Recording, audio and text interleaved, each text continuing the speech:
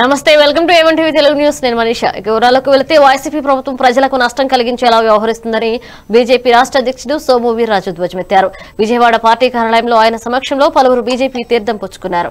అనంతరం బీజేపీ రాష్ట్ర అధ్యక్షుడు సోము వీర్రాజు మాట్లాడుతూ పంచాయతీ ఎన్నికల్లో పోటీ చేయొద్దని బీజేపీ నేతల్ని బెదిరిస్తున్నారని ఆరోపించారు. ఉత్తరాంధ్ర నుంచి రాయలసీమ వరకు బీజేపీలో చేరేందుకు నేతలు ఆసక్తి చూపిస్తున్నారని వెల్లడించారు.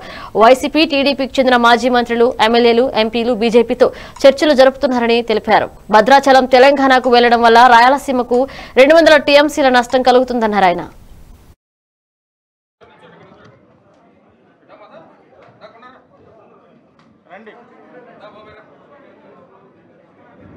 ఆలోచన లేవు. ఇవన్నీ నేను ఎందుకు చెప్తున్నానంటే తెలంగాణ ఉద్యమం నడిపింది.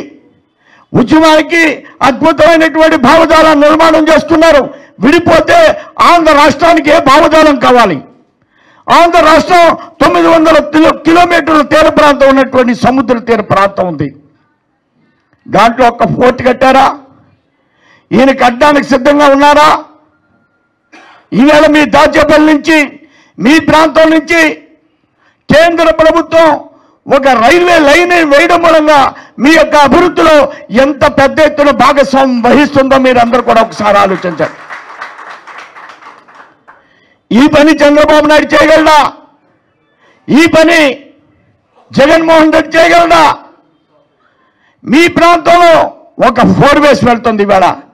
అలానే నర్సరాపేట నుంచి అలానే సత్తెనపల్లి నుంచి ఈవేళ కలిపితే మనం ఎవరు కూడా విజయవాడ వచ్చి హైదరాబాద్ వెళ్ళడానికి అవకాశం లేనటువంటి పరిస్థితులు ఉన్నాయి